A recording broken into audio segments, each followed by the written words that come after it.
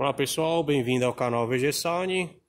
Estamos aqui com uma porta de um Renegade, especificamente porta dianteira esquerda. A dica desse vídeo é fazer a remoção do teclado aqui de vidro. Eu já dei uma adiantada, o que, que nós vamos precisar? A gente vai precisar a princípio de uma chave fenda pequenininha, uma chave Allen 5mm ou uma Torque 30 né? Vai precisar dessa aqui e uma espátula de poliuretano ou uma fenda grossa, larga, né? Que seja larga aqui, igual essa aqui é a espátula.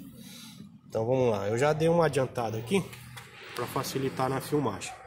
O que que acontece? Ó? Aqui no dentro do furo aqui, ó, do puxadorzinho, ele tem uma borracha lá dentro. É onde você vai usar a fenda pequena para fazer a remoção dessa borracha. Inclusive a borracha é encaixada na cabeça do parafuso. Como eu já removi o parafuso, ó, né? o parafuso esse daqui, ó, da chave que eu falei, ou uma Allen 5 ou uma Torque 30. Você vai conseguir fazer a remoção.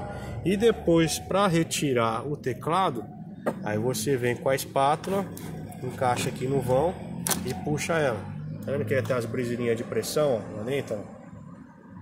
Pronto, já fez a remoção na frente, você vai tirar ela toda e aqui você, você puxa ela para dentro, né, do carro.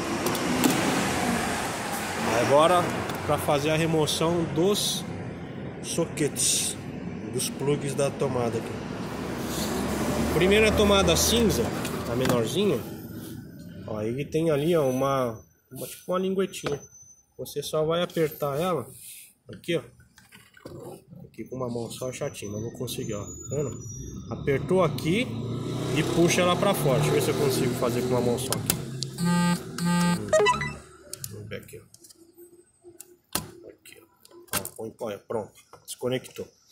E a outra tomada maior, aqui, a trava dela é em cima, essa pretinha aqui. Deixa eu pôr isso aqui pra dentro. Ó. A linguetinha dela essa parte aqui. Deixa eu pegar a chave de fenda, o dedão é grosso. Então você vai abaixar essa trava, né? Você vai abaixar para esse arco aqui cair para frente e liberar o, o, o, o plug aqui. Então, ó, apertei e empurrei para frente.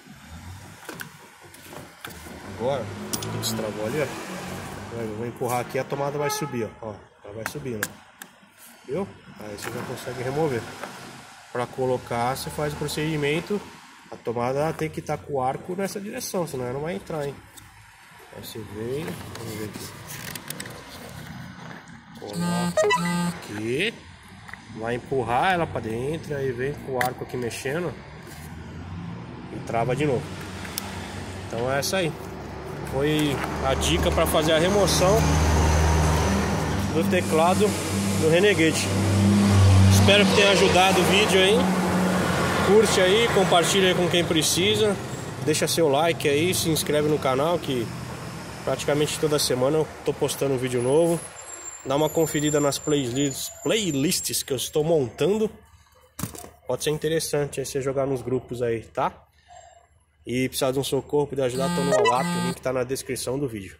Valeu, galera. Até o próximo, hein? Fui!